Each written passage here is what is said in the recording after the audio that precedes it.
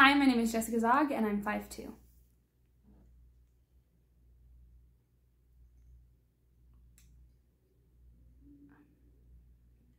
You can stop worrying, Mrs. Baker.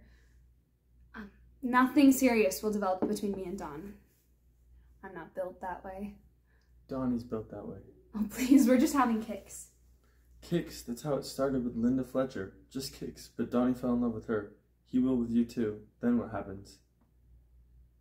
Uh, I don't know. Well, I do know. Stop it now before you hurt him. What about you? Aren't you hurting him? I can't. I can only irritate him. You can hurt him. The longer you stay with him, the harder it will be when, listen to me, let him come home with me. You go have your kicks with someone who won't feel them when you leave.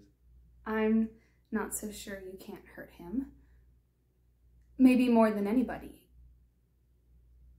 I think you deserve all of the credit you can get for raising such a marvelous guy, but, you know, bringing up a son, even a blind one, is not a lifetime occupation. You don't know anything. Well, the more you help him, the more you hurt him. It was Linda Fletcher, not you, who gave him what he needed most. Confidence in himself. You're always dwelling on the negative. Always what he needs and never what he wants. Always what he can't do, never what he can. What about his music? Have you heard the songs that he's wrote? I bet you didn't even know he writes songs. Look, you may be right about me. I may not be the ideal girl for Don, but I do know this.